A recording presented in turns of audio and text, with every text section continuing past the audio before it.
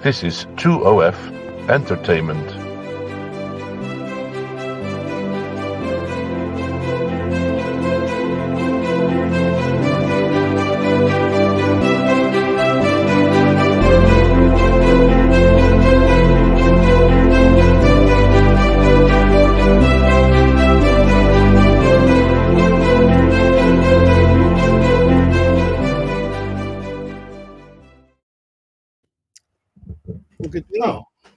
Good day to you, Paul. Long, long time no speak. Yeah, we've it's been a while since we you know usually have to deal with that other guy, Steven. But, yeah. Yeah. It's Yeah. oh well, we're we're we're doing well, you know, and our program still continues along nicely, and uh, we appreciate all your support uh, in doing this. And uh, today we have a we have a very prolific artist. He's been painting for a long time, um, Anthony Hobbs from Montreal. Okay. Canada, and uh, you know he's got quite a uh, an oeuvre of of painting, and uh, his history, like the, the background where he comes from, is not unlike some of the other artists that you know they have a graphic background or a commercial art background, and then you know the training that comes in, and I, I- I guess it's and he's also been a teacher, but um, you know just the regime of every day doing something, get up the same time, go to work, and actually get work done. And Yeah. I think it's really important that artists understand that that that's a really a big piece of you know creating work is motivating yourself to get into the studio and uh, finding out how to be motivated and what things to look for and what things you like to paint. Anyway, I'm gonna maybe we should bring uh, Anthony in a little bit. Yeah, let's bring Anthony in and uh, Well, good day to Good you. morning, Yeah. good evening, Morning. good morning, good afternoon. a bit, bit of everything today. Well, uh, I'll, gentlemen, I will leave you to it and um, have a great interview. And I'm really uh, looking forward to, uh, in the background, to catch up with some of the uh, the work that Anthony's been doing. But uh, see you all a bit later. Bye bye. Okay. Okay, nice. Bye. Hey, good day, good day to you, Anthony. Well, this, you know, we we've sort of known each other for a long time, online, I guess, as uh, a longtime member of Artists in Canada, and we Mm. appreciate that. And uh, I've sort of I've watched your work over a number of years, and it, this is a great opportunity to actually share it with people in a different way and uh, Mhm. to, to talk live with you about what's going on in your life. And yeah, I guess we all have our own our own journey. I mean, you know, really, it's similar, but it's not. Like you know, we have hills and valleys that we go through in our lives, and uh, I think I think that's what interests people is how. I mean, that's how they feel. They connect. They say, "How how was it for you? How did you do what you do?" Can you can you give us a little bit of your background as to kind of where you You want- started? You want my whole background? No, I don't want the whole background. we have the short version. it. No, Uh, as, as I um, I think I told you, I started out. I um, went to St Martin's School of Art in uh, London to become a, a painter, but I moved from that into uh, graphic design, and uh, for many for forty years I was a graphic designer.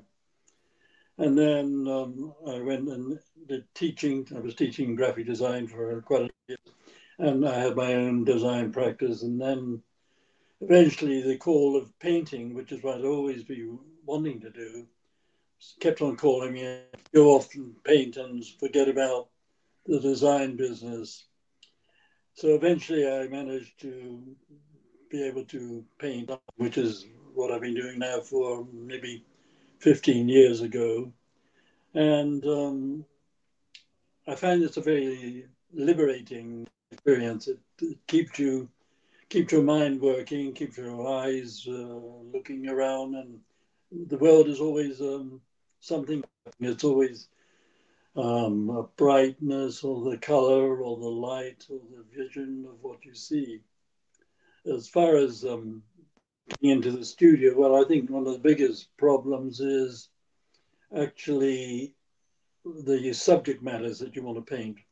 Um, I've been I've I've been out painting, supposedly painting outside, and I'd spend the whole day walking around looking for the idea and never never finding it, and then returning home, and there it was facing me in right in the face. So now I find that I collect these memories and visions and trans translate them into paintings.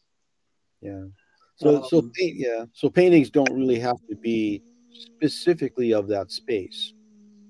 Is, is what you're saying? No, I uh, no, I say that. Well, first of all, I had to be outdoors in the elements painting. I had to have the wind blowing and the sun on my face, and um, like tough. You put stones on your easel or stop it blowing over, and I guess that's I guess that's part of the British background where if it's hard, that's good.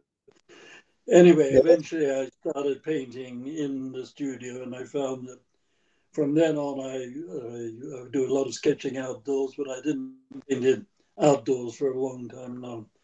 I find that painting indoors away from the subject um, allows you to be more creative and meet the subject in your own vision. You're not, as a friend of mine points out, she talks of the tyranny of the landscape where you're, you're looking at even you're trying to reproduce it as it is. Whereas I take a landscape as a basic, a starting point, and then move on from there. Put right. paint on the um, canvas and then sort of see what's going to happen. Okay. So that it works like so a lot of artists that are abstract painters kind of work like that too. They get started and then their mind takes over and they move stuff around. And I think, I, I think that's legitimate. I mean, uh, we're going to get uh, your first image started up here and then we can with uh, uh, get David to start that for us. There we go. And people can sort of see what we're talking about here. Um, I mean, are are you somewhat influenced by uh, you know the impressionists a bit uh, in that nature in some of your work? Yeah, I um, I was very much influenced by um, my fellow Cézanne a long time ago, Matisse, uh, and then I got painted um, Diebenkorn, to, which was sort of somewhere between graphic design and, and, and fine art. You know, I think was this one here has a bit of that feeling of um, cutting the, the the painting into thirds. Uh, I use an old system of, of uh, grids, so the painting is split up into thirds, and then I find of the focal. So this does have a bit of that uh, abstract look about it, and it's actually yes. called early fall. As you can see, the trees are colorful, but there's the still green grass. Now, that situ that actual location does exist. I've seen it, but I didn't paint, sit there and paint it. I don't, having seen it. So right. then again, it gives me a chance to do whatever I want with it.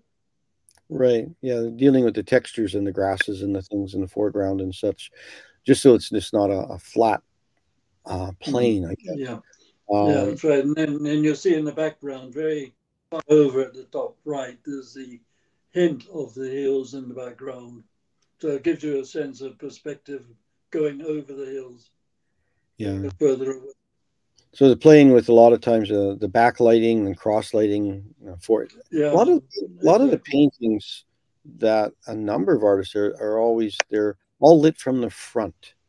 And I and I find it so exciting to start seeing work that is they change the light around a little bit where the sky doesn't have to be blue anymore. You don't have to, you don't have to have things. The sun is in the right corner. You you you, you really, in other words, to show where the sun's coming from, you don't have to show the sun. Uh, but there's so many things that um, you have at your, I guess, your tools. And, and Actually, that, you know, I think I think you become a sort of um, I hate to say the word creative, but you you can put the sun as you say, you put the light wherever you want. You can cheat if you like to call it cheating. You can recreate it in your own your own vision. You don't right. Yeah. and that's why when you get away, oops, here we are.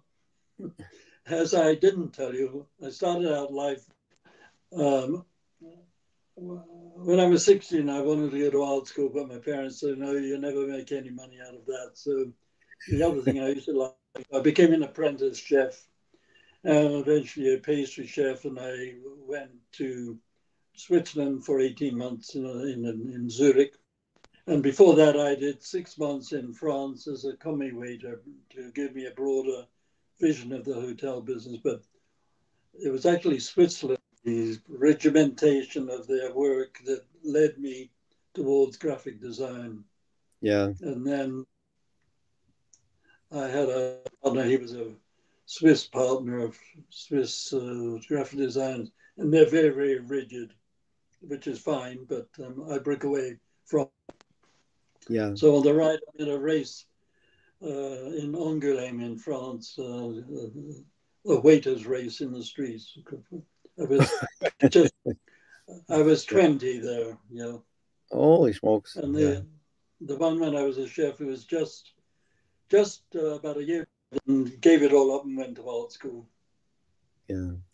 Yeah. I think I think a lot of us have had journeys where we are have worked on jobs that are opposite to what we actually do as as an artist. And uh but you know what? The pastry chef does have some crossover and like I said, a Swiss background. And I can see some of that structuring uh, in your design. And I think it's it's actually probably influenced you a little bit as well in, in your work that you did and probably even how you taught i'm assuming that a little bit um, because when students come they're pretty green when they come into your into the into the classroom and and they are trying to find out where who they are and what they are and in graphic design a lot of that they they don't want you to rethink and find a personality you, you basically you're selling wares you're selling shoes and you're selling things for other people so it's it's good to have a good design background to do that, and you've got to mm. be very quick about doing work.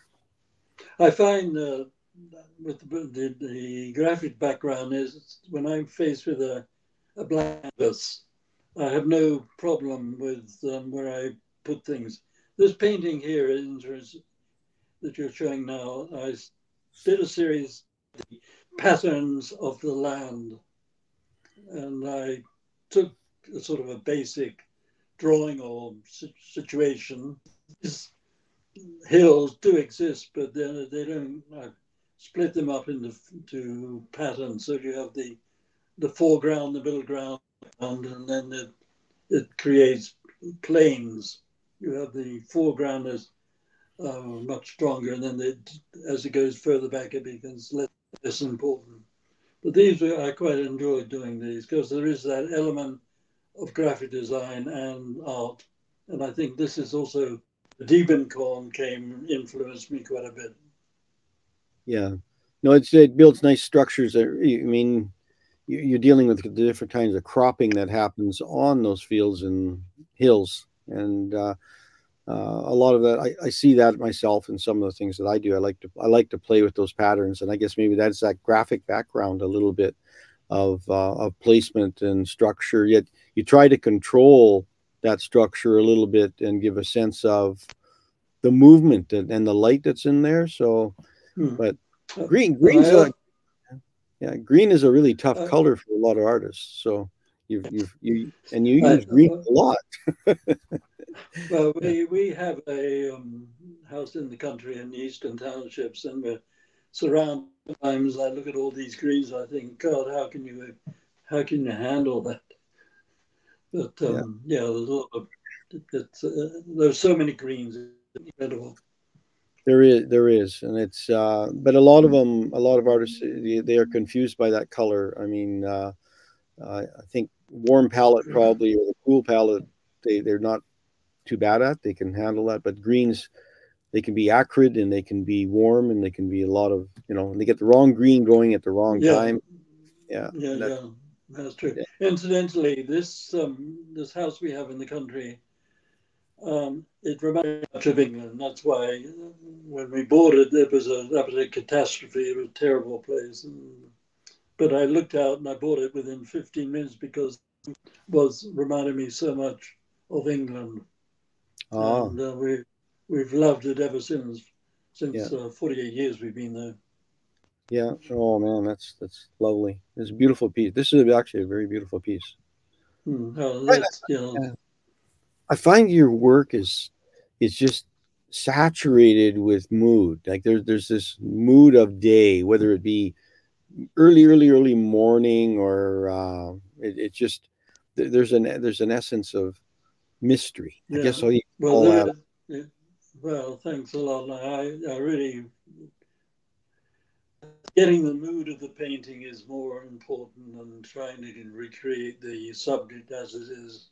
I mean, this this um, this exact location does not exist except in my own recreation of it, but it's an accumulation of a lot of different images. Um, right. I, I, think it's it's great to do the sky. I like doing the sky.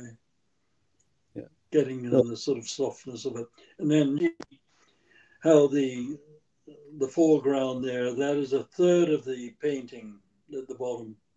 Yeah, the so scale. An old, an old uh, system where they split it up into thirds horizontally and vertically. But um, yeah, this one is quite a big one. That's about uh, by 40, I think it is. Yeah. Mm-hmm. So I, I, can, I quite enjoy, enjoy doing very little paintings and then some of them. Yeah, there's some things you can really get a larger brush on and you can think about it in a different way. I like it that you can back up from these things and they still, there's a presence of size and puts you into that space. What do you what do you feel about when you paint someone like this? Is trying to get enough depth of field, like like like the you don't have the perspective lines of hydro lines or roads or things like that. But what do you what do you look to when when you're dealing with this color palette? Well, hue. Well, I, I, I usually try to um, have a point of interest, like in this particular painting, you that you're leading towards the uh, I can't point it out here, but yeah, um, you're going towards that corner, and the clouds are coming down to that, and then you have the very dark ridge of green, and then behind that you have the cool blues showing the the landscape. So you're actually going through into the painting, right to the. I can almost feel as though I go over the over the to the into the landscape at the back. So I don't put sort of lines of uh, perspective take it in consideration, but it's it's usually it's hidden. It's not there. It's not clear. Yeah, no, it still has depth to it though, and I think it's it's dealing with that. Yeah, that, that's color really important to me. Yeah, no, it's uh, otherwise it just it's flat, right? And it's just like which can be a way yeah. well, but hmm. I think when you when you try to squeeze a little bit more out of it, I think understanding how one color lays over top of the other one and what color is cool and what color is warm. Mm-hmm. I mean, hmm. it's kind of well, the basic see, that you teach, but yeah. In this particular painting, you see that the foreground is pretty strong, but the background is very blue, and blue is very cold, so it takes you away yeah, it does. So, yeah. But but I but I like the minimalist look of this piece of work. Like it's it's not like you said. It's it's giving you an impression of what's happening and where you are, hmm. the time of day. There's a bit of light. A point I like to make is that people say, "Well, where is that? Where is that painting?" And I say, "But it can be anyone to be, because I want the viewer to put their own feelings into that painting and see what they get out of it. That to be something that they remember, then that's fine. It doesn't have to be a specific yeah. location. So, Some, I mean, that, so so many, somebody, yeah, yeah, so many landscapes are are regionally based, and that is that is true. And what is what happens with an artist? You're trying to get some universality into your work, and it's really hard as a landscape painter to build universality and where say it could be accepted anywhere in the world when they look at this painting and say you know you accept it for what it is. I said it doesn't have to be paris or london specifically mm-hmm. or a city scene. I said well how do you how and i think that's where abstract takes over a little bit it it's it muddies that it could be anywhere right? The abstract can be like that i had a i had a painting that i had done similar, rather like this, with different colors.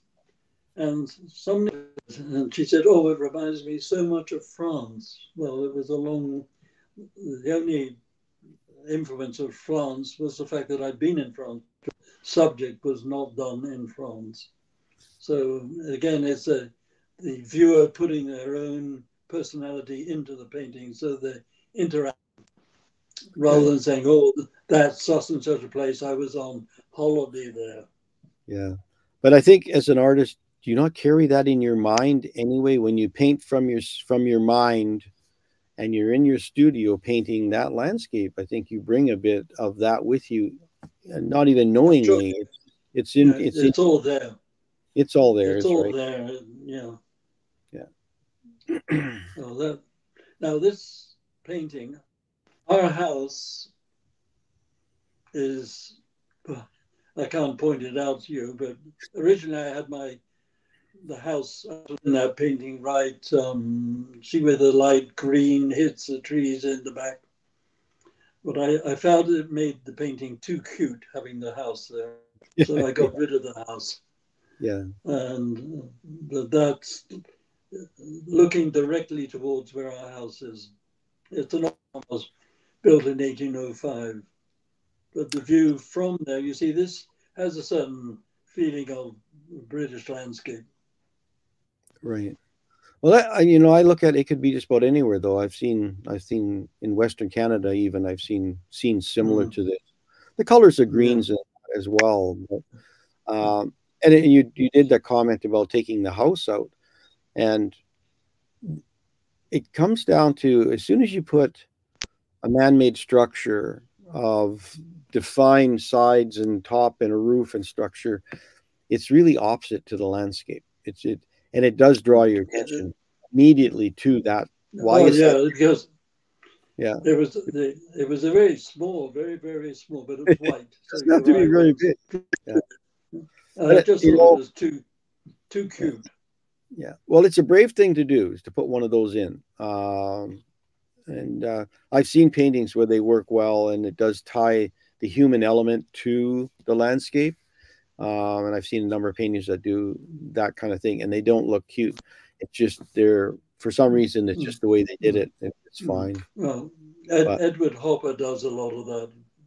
Right. Yeah. And uh, I, I, the names escape me at the moment. I was going to speak mm. about a piece, um, but uh, there there there was a, a painting that um, it, it showed uh, the north the north country just landscape was all austere and ice, and that yet there there was an Inuit building as part of that landscape, and it did show no Inuit at all around, but it was uh, skins and on on on a on a on a hut and some sleighs. So what it was it was telling a story in, in a different way, mm-hmm. but it mm-hmm. also there was a human element to a very inhumane space and how could you live in a space like that but it, it, it mm. was uh, uh, well i think that's a, a I, I love drawing i love i do life and i love drawing sketching people but i much prefer this sort of um, semi-abstract right landscape. yeah oh here's uh, yeah yeah i caught you with um, yeah one with a road in it i got this uh, again, our house is on the left-hand side. You can't see it. And this, people are not too keen on window paintings. Uh, I've had. Um, what do you mean by window? What do you mean by window painting? Win, winter, winter time. Oh, winter painting, winter paintings. Okay. Yeah. Yeah. Um, um, if you try to sell them in the summer, they they don't want. They don't look at me. but you know, it, it's, it's a warm winter. This one is still a bit warm. It's not a real cold yeah, feeling. Well, yeah, it's, it's started to melt. Anyway, it's quite fun to do. I like um, I like just the simplicity of winter. But, it, it um, does, you know, the the harshness of white and that it does, it does force you to design stronger. You you really need to hmm. really, because the contrasts are so sharp. You know. Uh, yeah, yeah especially if you have foliage uh, like trees and forests and roads and things interspersed on them. Sometimes it can look beautiful, and um, it, it's part of that real design skill that has to come into place when you're when you're Mm. designing pieces that are, are winter based, and Mm. Just depends on how cold you want the winter to feel, like and that Yeah. as to whether people want it or not in there around their space. Well, But- if you put blue in the snow, it looks much cool, colder. But you can see how it leads you into the background, up, up Yeah. the road and to the right. Yeah, I, I found with winter scenes a lot of times really you really need to know your gray palette, and uh, the gray palette is essential uh, Mm. Yeah. for for uh, defining a, a landscape, especially snow. Like you know the A.Y. Jackson had a he could paint snow like and it could be any color. It's a pinks and you, you know Yeah. you've got a feeling of the of Quebec landscape. Yeah, I have a friend, she paints uh, wonderful snow scenes. Really Right. gets it. No, it's uh, Oh, here we have the fall. Yeah. Full color. This is Uh, yeah. This is a, I just feel the real tumultuous sea of uh, in the foreground. I feel like I'm in this ocean of waves, and, and there's there's energy in this piece. Not only the color, but it, it, it's quite sharp. This is quite a Well, dramatic. you could, if you were able to X-ray this painting, there is about three, four, or five different layers of. Originally, there was a road going up it. There was, um, I don't know, it was more realistic. And then I got fed up with it, and I just sort of slapped the paint on and created more atmosphere. That's what it boils down to. It's atmosphere, because the, these brush strokes are everywhere. The sky, the trees, the fields, and Yeah. there. Yeah, You know, you you look at this, and it could be a close up of uh, a bouquet of flowers. You know, really, like or, Yeah, well- a flower garden if you look at it in that, or it can be the hills and trees. Yeah, if So- you take a section of it, just Yeah. yeah, I quite enjoy painting. That is, No, it's it's got a really nice sharp energy in it, and uh, Mm. kind of an well, impression. again, Right. Yeah. my house is hidden amongst the trees. Your, house is back there again. Yeah. Well, like hmm. you said, maybe you just come back home and there it is. You found your spot that you actually like to paint. Mm-hmm. So I think having those. Do you feel it's important for an artist to have those special spots that they they go to regularly to draw energy from and draw from? Well, this is all around me. I mean, I get up in the morning and it's there, and get in the evening and it's all day. So I'm surrounded. I'm very lucky. There are no. There's only one house in the region, Right. so I'm very lucky to be in that sort of environment. Yeah. When we come back, when we come back to Montreal, it's a bit difficult because uh, not quite the same. Yeah. Do you get away for the winter every once in a while? Get away. Yeah. In the winter, you get to get away in the winter. Oh. Go away. Yeah, we go. We've been going to France for each winter for the Oh. past uh, ten years. Yeah. Well, you didn't Really? quite get away from the snow and rain. Yeah, But- uh, so it's pleasant. the rain. Yeah, the rain is quite still pleasant there. Oh, that's another. Yeah, yeah. I forget what I call that one. This, Yeah. I call it the Sentinels. Or, that again is very close to our house. Yeah. And that was the sort of thing. You get these grey clouds coming in. It's it's and very dramatic. again is it's sort of semi-abstract. It's, uh, Yeah. it's uh, simple, very simplified. And then, as you say, the snow. Again, underneath that, you create what I call the history of the painting because you you you paint, you spray, you sand it, you add paint, you you keep on adding to it. So behind the, if you look in the foreground, what you see coming previous paintings. So Right. uh, some of it, it gives it an atmosphere. Yeah, the the layer building is is is understanding that. Um, it Mm. takes a while. You paint in oil or acrylic? I paint mainly, most of the time in oil. I Yeah. find acrylic. I may start in acrylics, but I find that the acrylics, to me, they're hard. They're not, they don't have the subtlety with oil. With oil paint, scrape it away, you can thin it, you can, and it doesn't dry so quickly. Right. And yeah. Uh, I, I, the problems I have found is when I go to France, I usually paint in acrylics, but I found it very difficult to move from acrylics into oil or into acrylics or, or watercolor into oil painting because you're thinking in different terms of what you can do with the paint. Yeah. So, um, takes you, takes a while. Do you feel that watercolor is a good spot for a starting artist to start out with, like as a to learn their learn a medium, or is it? Well, it's frustrating for a lot of them. It's very frustrating. Well, watercolor is very very difficult, but uh, I think one of the things that bothers me about uh, when I see people uh, trying to learn watercolor, trying to do a, a rep- reproduction of what they see. I took a course once with a Canadian artist woman, Lee Lam, who was a very well-known East uh, from you know, New Brunswick. And one of the things she told me was, remember, it's water in capital letters, color in very small letters. So a lot of water, what a lot of water, and very little color. So you're washing it. Otherwise, yeah. it, if you put too much paint, it it it, it dies. That um, the reflection of the of the color coming through from the paper.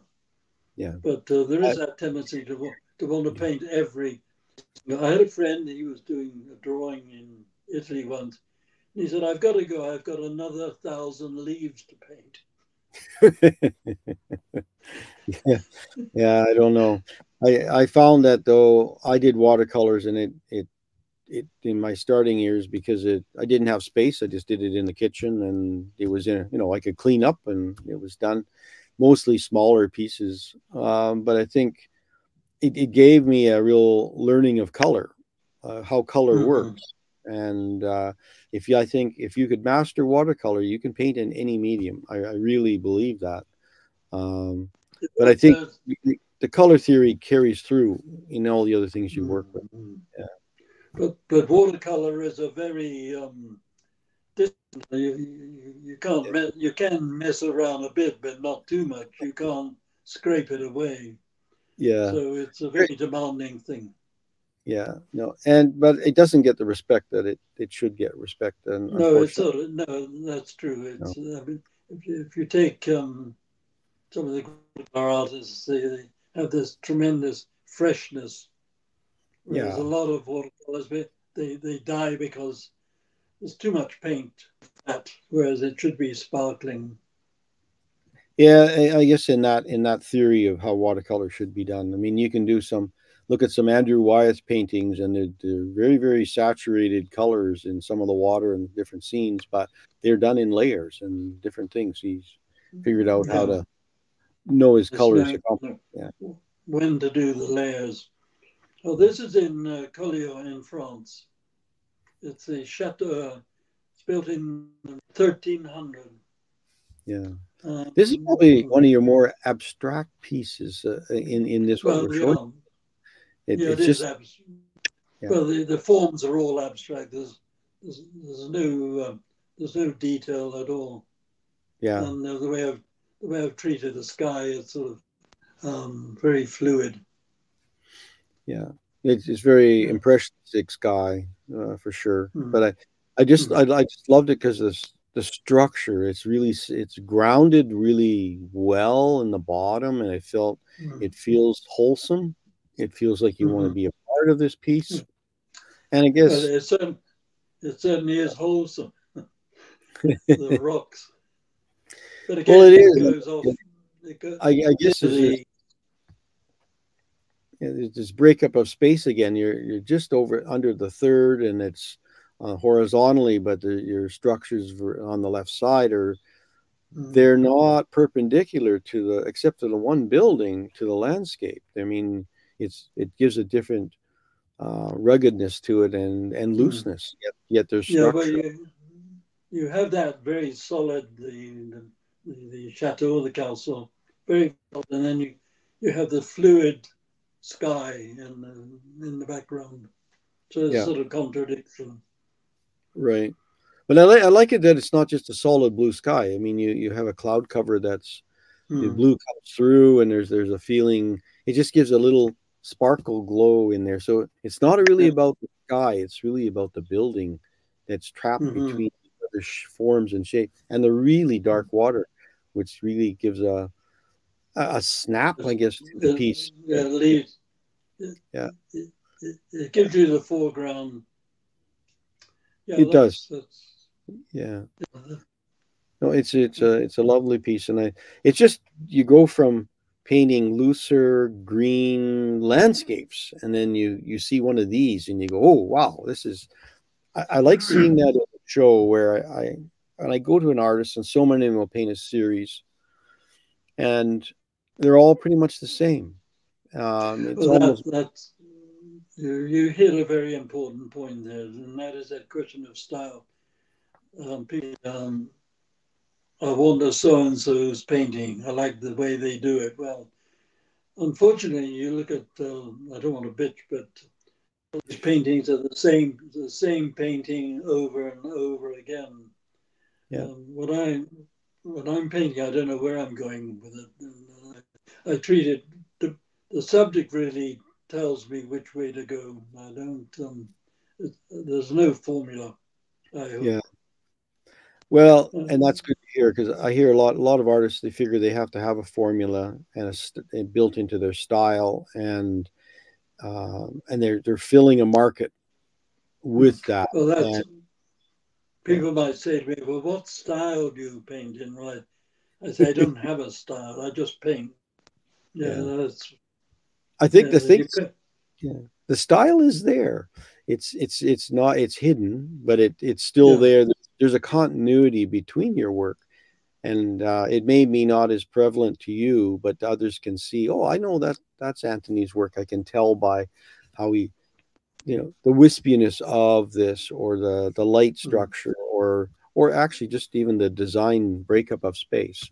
Um, those all become part of your oeuvre. that, that's Yeah. Well, that's very nice to hear because it really is um, the way I feel. This painting here, you is called um, Black Point in the uh, Eastern Townships. This was a commission painting that I did just a amount of for a big luxury hotel in um, North Hatley. Um, I've only ever done three commissioned works in my life. The first one was pretty awful. The Second one, I said, well, if you like it, if you don't like it, don't take it. This one one beautifully. I painted, I was really very much into the painting, and uh, the client was very, very appreciative of it. And um, the new um, um, spa that they've built right on the lake, and you can sort of, this painting is in the name and then you can go out on the balcony and almost and almost see this subject. How how large is it? it's, it's four feet by three feet, so it's quite big. It's Yeah. all done in oils. Yeah. But again, it's that leading into the painting, going in the corner, and, and imagine going around the corner to the other side of the lake. Yeah. Anyway, I really enjoy doing this one. Uh, normally, I hate doing commit. Well, I I don't do commissions because people say, "Well, I wanted to I wanted to match the room, or the color doesn't go with my sofa." Or anyway, I just do what I want to do. And and this, I had a completely free hand, and I just be happy to have done it. Yeah, yeah. The commissions are. I, I can commend some people that have this ability to do them and make their client happy. Um, I did that for thirty some years as a graphic designer, and uh, and now I just I paint for myself as much as I can. My Mhm. commissions have I've done them, but I prefer not. Um, I Mm. find that I have shackles. I have shackles on me when I have commissions and trying to Mm. please somebody in some way that rather than saying. And I usually if you don't like it, you don't buy it. Like I'll just put it into my collection and I'll I'll sell it somewhere else. But hopefully at some time. You're, you're saying exactly what I think. That's great. I think we get to an age at some point where you just say, "The heck with it! I'm I'm just not going to do go down that road anymore. Um, I don't have to go down that road." no, no, absolutely, and yeah, that's why I would hate to be in a hate to be in a position to rely on selling paintings because it gives me a tremendous freedom. I like I like selling paintings because it gets gets them out of my studio, but that means that somebody appreciates it, and the money is good for paying pays yeah. for my art materials. But um, to try and live by painting would be very difficult. Unless your name is David Hockney or someone. well, he paid his dues in the day too. I think a little bit, and uh, as, like hell. Yeah, he, he still does. works like hell. Yeah, and I think he, he says when he goes into the studio, it makes him young. I think that's true also.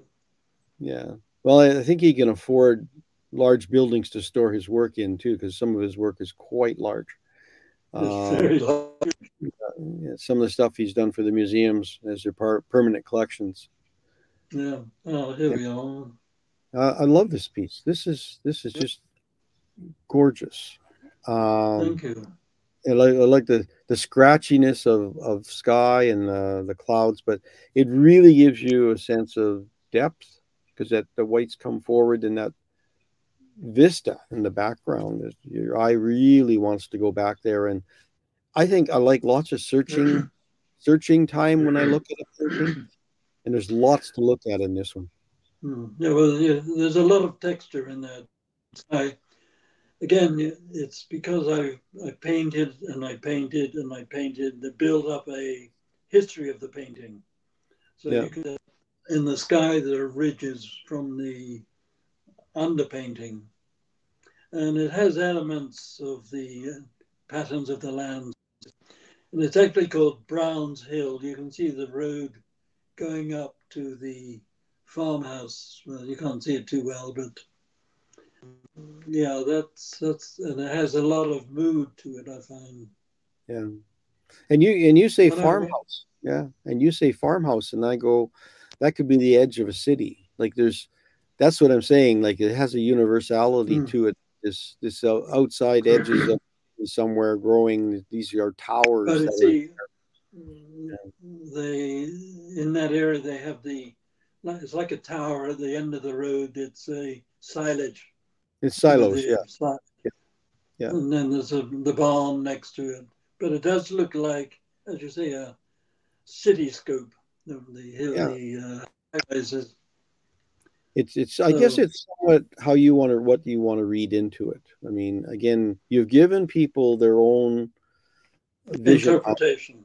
Interpretation is the word. Yes, and I yeah. I think if an artist can do that, you not well, you not only expanded your market, a little bit as to who likes the piece of work or what they can see in themselves. Do you feel that mm-hmm. that that look and buy work try to find a sense of themselves in it that they feel that they like that I've been there before or I or those kind of things? Do you think people look for that in a piece of work? I think people react to it because they, there's something familiar about it.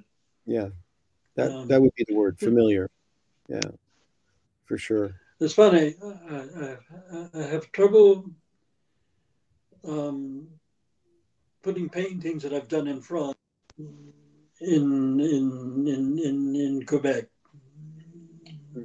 So many people are. It's sort of almost alien to them. Oh, really? The, the, this this this could be anywhere. It's something familiar to a lot of people. Yeah. But again, I, that's enjoying the painting is what's more important. If I enjoy it, that's fine. If somebody wants to buy it, that's fine also. If not,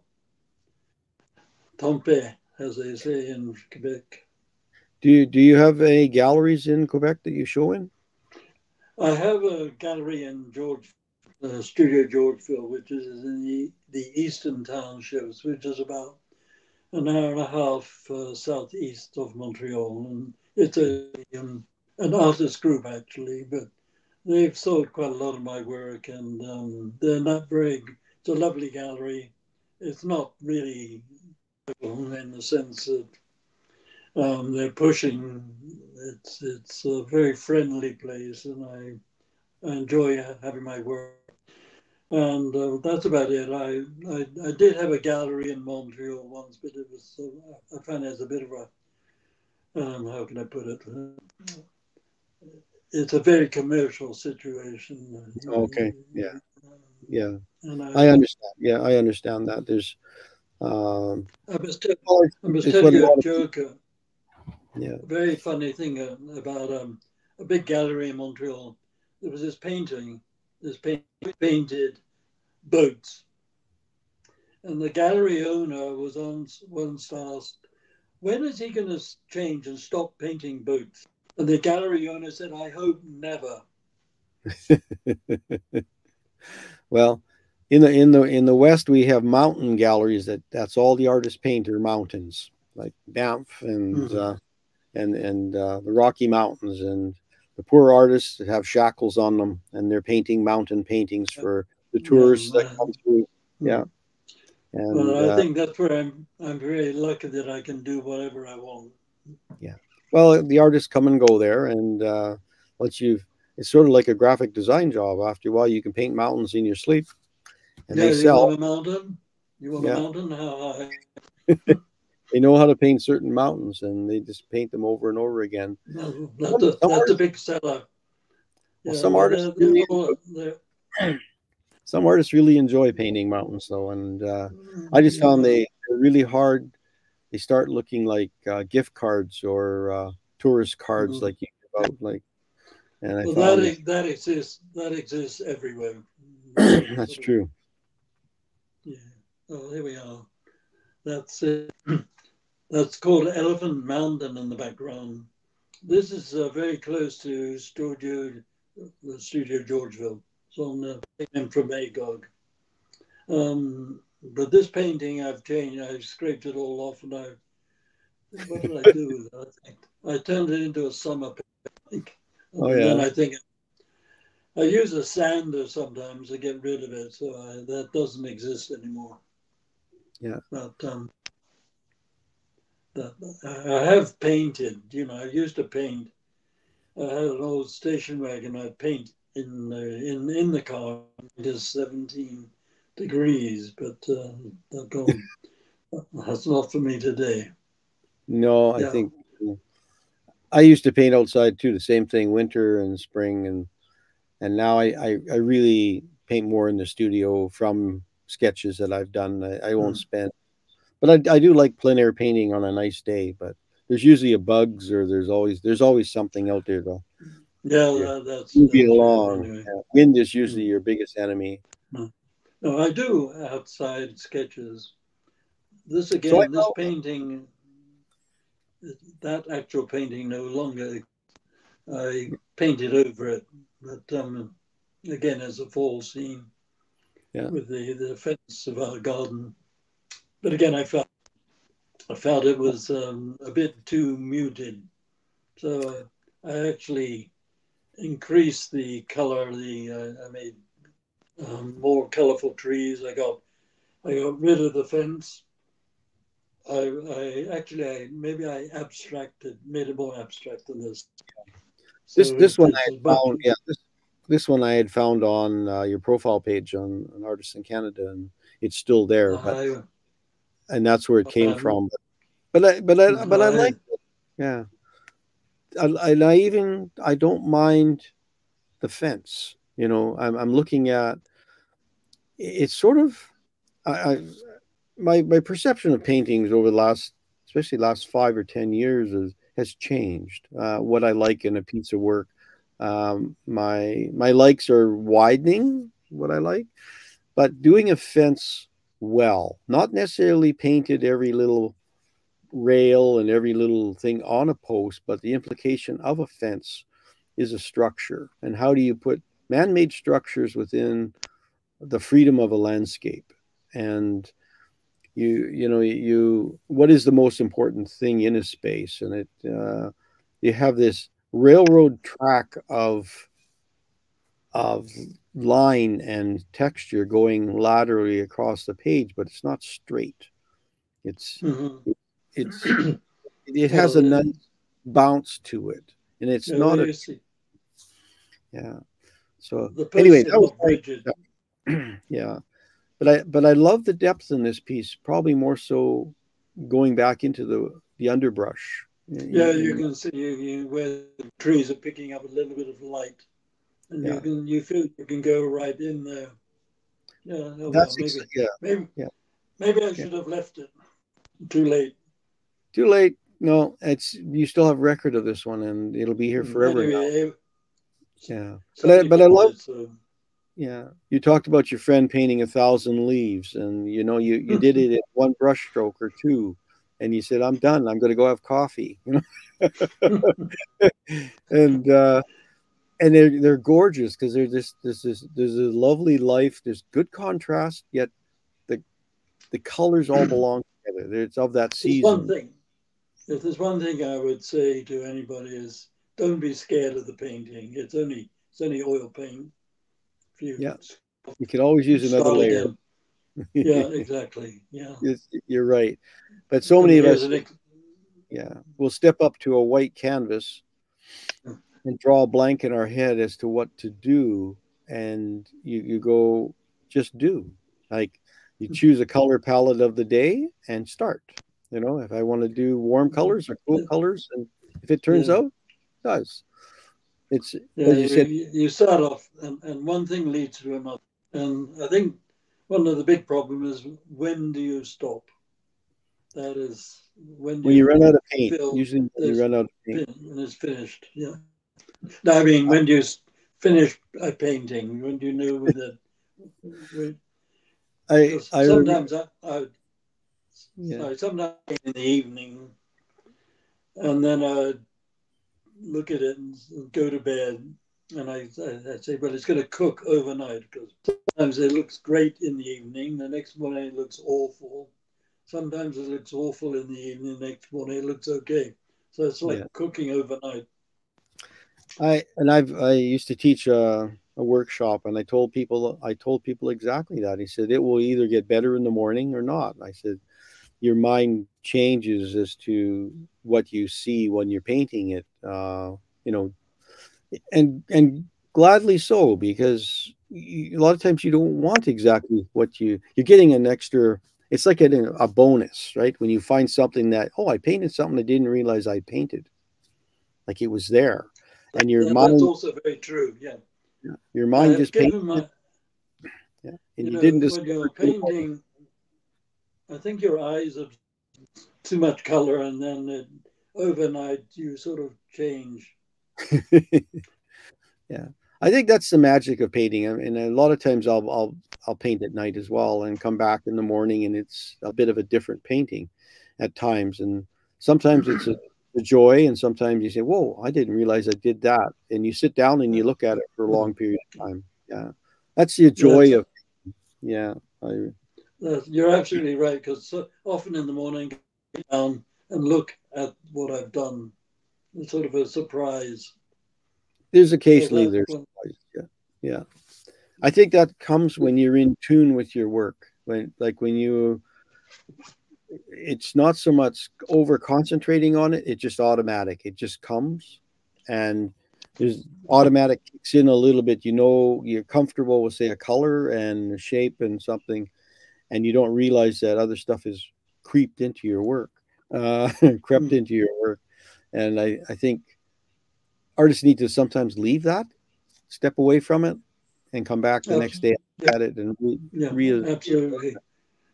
Because you can Yeah. reach a certain point, and then then you'll you'll stop. You you need Exactly. to look at it from a different. Yeah. This one, yeah, well, that one doesn't exist anymore. no it's like you're gonna have to change your stuff on your profile page Maybe, yeah you get some of your newer stuff up But- I, I, I found that I, I found that painting was too dark, so I've kept the basic thing, but I painted over it. A Yeah. warmer look. Well it is a dark painting but you know what there's a lot of places that you look at some of the really early 18th 17th century paintings they were quite dark uh, they're Yeah, beautiful. Well, absolutely. I mean, you've got figures that were painted almost in black backgrounds, and these figures would Mm. just come out glowing out of there. Yeah, Uh, this tree on the right, yeah. Well, this tree on the right just Yeah. pops off the page. Like it's just the right color of green for it's a dark, kind of a somber palette. You know, this one is a little bit.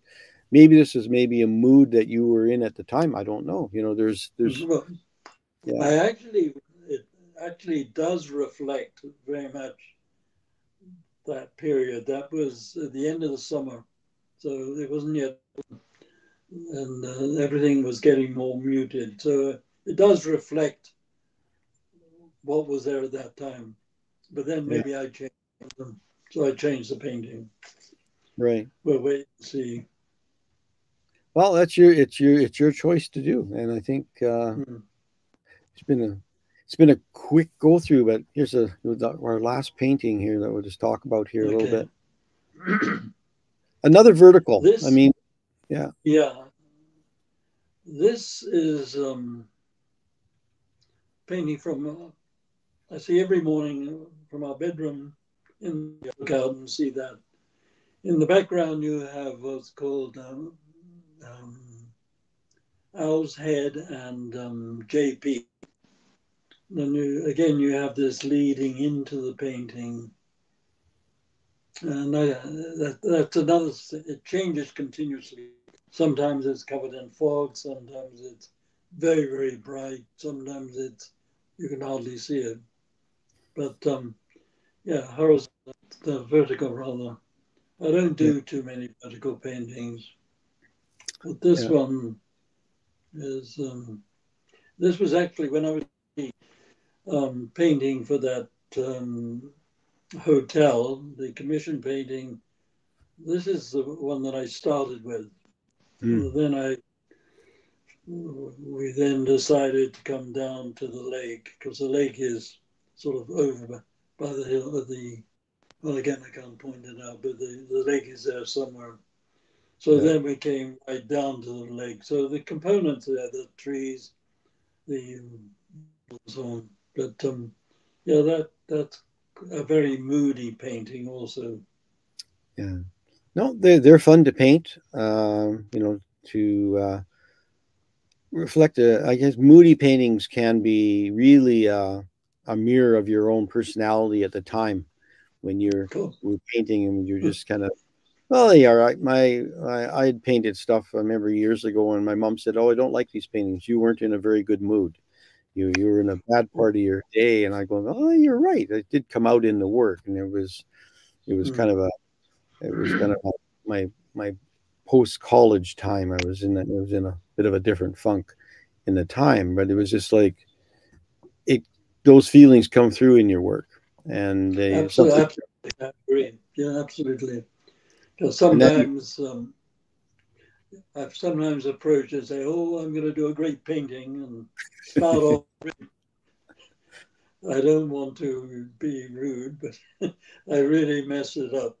yeah But then, Well- then you down to earth, and then you really start working on it. But yeah again, it's that's part of the challenge. It's never the same. You're Yeah. the same. The painting's never the same. The atmosphere is not the same. So it's always a challenge.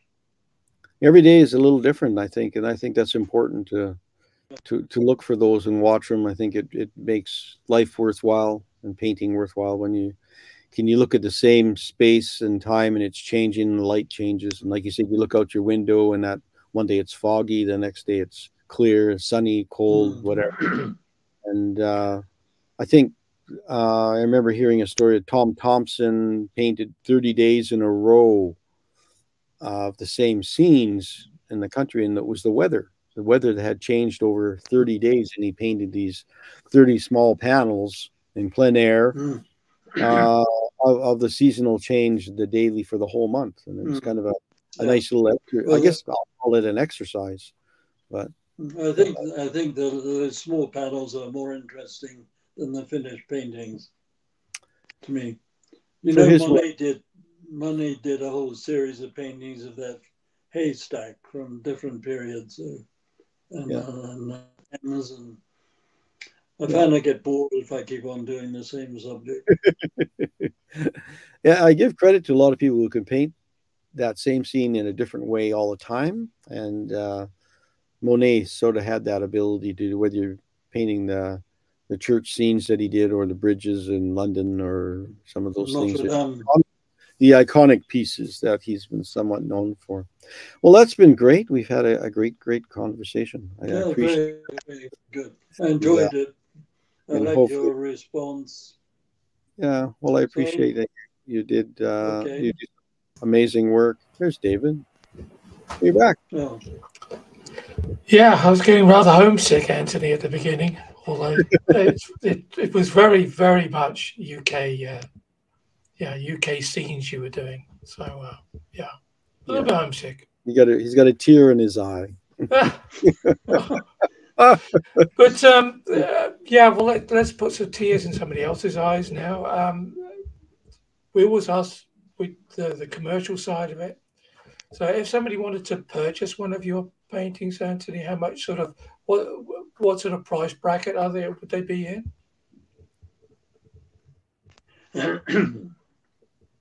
well, let's see. a little one, say about 10 by 10, it could be around 400, going up to something like 2,000, 1,800, 3,000, Yeah. something in that range. Okay. That's a good range. That's a good. That's a good Yeah. average range. It's not bad.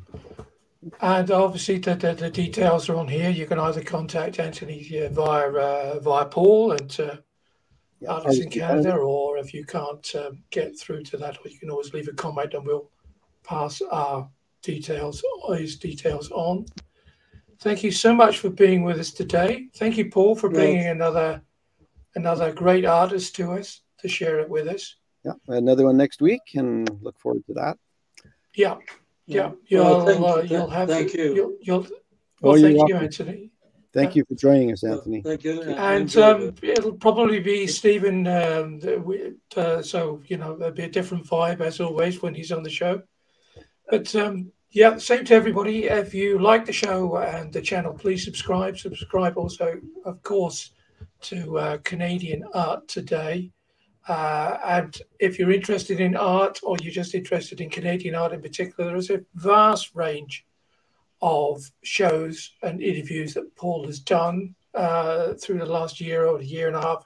He's been doing it, and with, we're always thrilled to have him on and to have his guests on. And so, don't forget, everybody, like and uh, subscribe, and uh, we'll see you all next time on Canadian Art Today. Thank you.